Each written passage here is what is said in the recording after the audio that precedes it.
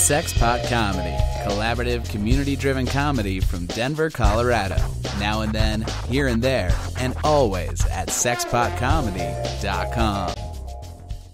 So we're, we're lucky. We're, we're lucky in Denver. We have a great, uh, a great stable of comics, and you know, traditionally, and you know, my generation of comic that came up 30 years ago, and you know, some of them are still doing it. You know, Mhm. Lewis Johnson, and you know, Troy Baxley, and and uh, you know, and and I, I think that there's there's so many new young comics all the time. You know, and and so new, so many new rooms. I was getting nervous about being old. That people walk out and they think, Jesus, who's this guy? He can't be funny. Look how old he is. You know, Yeah. what are you doing here, Gandalf? So, so, so, so I started doing. Uh, Nathan, Nathan Lund was nice enough to have me at at uh, uh, for two years in a row every Wednesday night at, at Too Much Fun, Mm. and so trying new jokes and seeing that in, front of a. What was happening to me was I'd go second show Friday night downtown, Uh-huh. and the average age would be 24, and I'd walk out, and I could hear their sphincters close, you know, because because it, I did the same thing, you know. Yeah. When when I was young and go into comedy and you see these old guys and you go, Jesus, you know, wh- what's this guy, you know? You know, Grandpa's bag broke. You know, what he, what's he doing? And, and, and so, so I, I started doing those uh, the young hipster thing at, at Too Much Fun, and realized that what's funny is funny. If Mhm. it's funny, it, it doesn't matter. You know, Doesn't it, matter. it cuts across stage. Yeah. And so then I, because I, was getting a little bit of stage fright because I, I was getting, oh, you know, they're not going to like me. They're not going to like me. And that's a self fulfilling prophecy. Yeah. You know, it, it's like whatever you're going to do, if you envision yourself failing, you're going to fail. Mm-hmm. You know, I'm going to drop this bleeder in surgery. I'm, I'm going to drop this bleeder. I can't get that. Oh, no, man, I got this bleeder.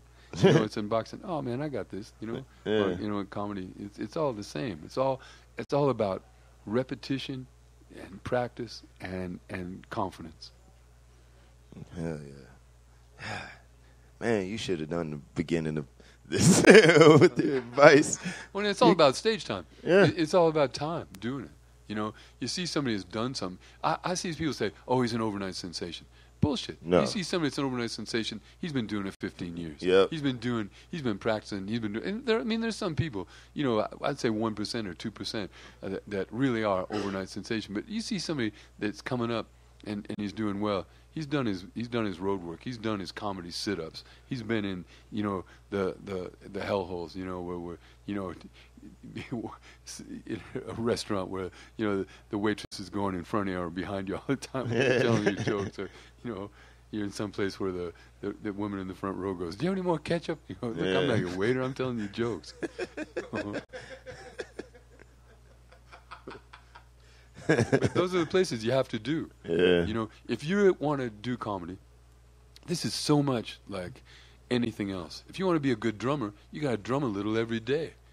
This isn't something you can pick up once a month or do once every two weeks. You know, you ha- you have to do it. You have to do it, and and so uh, and and and be you know, tape yourself. You know, watch yourself. You know, uh, and and listen to it and be be critical. You know, in, and we don't learn from our success, sadly, in life. We learn from our failures. Mhm. We and so when I worked for the Rolling Stones, the advice that he would give the young bands, he'd go, "Don't read your good press, the good clippings. Read the ones that didn't like you. And how come they didn't like you? And think on and promise, you know, uh, promise yourself that you're going to be thick-skinned, and and you're not going to just, you know." It's easy for me to always, you know, be told, "Oh man, Kev, you did the one. What? How do you do it day after day? You're a genius." Mm. You know, but we're not. You know, You- No. you have to earn it with the crowd. You have to earn it with them. You know, and you have to take that stage. Mhm. When I worked for the P Funk, George would always get the band together right before, and he goes, "We're going to go out there and we're going to take the stage." You know, it, it's like D-Day. You know, Yeah. you hit that stage ready. Yeah. You know, nobody came to. You know, and Jagger would tell the young, young uh, musicians, nobody paid to see somebody be shy. You're gonna take the stage. You're gonna be entertaining, and you're gonna be that person. Yeah. You're gonna be. You're gonna be that blown up Anthony or whatever it is. You know, and and nobody paid to see somebody go out there shy and put it up tentative and go, oh, here's one I hope you might like. You know, no, no. Here's the joke. It's like feeding baby birds. the joke, you know? Shove it down here's, here's another one. You know, it, sometimes when I see people, I think, you know, m- my advice to young comics would be, y- y- you've seen them a couple of times, and you know they got some good jokes, Mhm. and and rather than start with tried and true stuff, they start with a new joke that they don't maybe have their lips around yet, and the audience knows it's new and it doesn't get any result, and then they're flustered. Mhm. You know, sandwich new jokes between the pillars of of good stuff you Yeah. know is going to work. You know, and, and then that way, you know, and every set, every set, one new joke. Every set, one new joke, no matter what you're doing.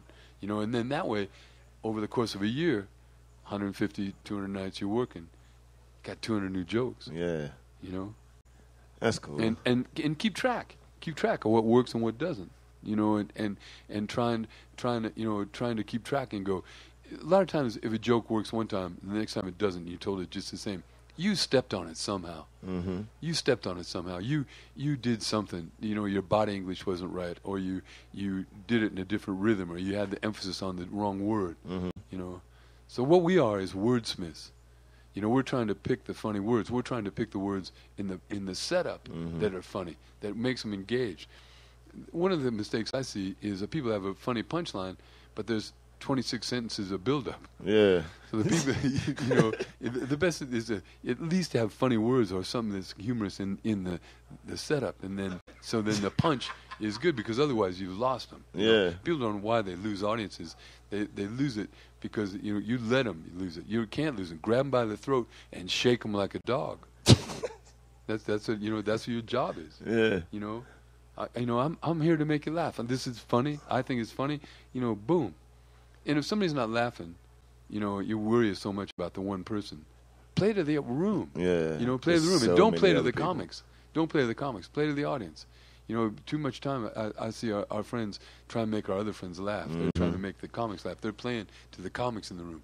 Playing Bullshit. to the back of the house. They didn't pay anything to come in there. Pay to the people that paid. Yeah. You know, pay, pay. You know, work for the pe- the people. You know, you know. Yeah, she's an old lady, but she paid to go in there. Yeah, You know, yeah, she did. she. I mean, God bless her.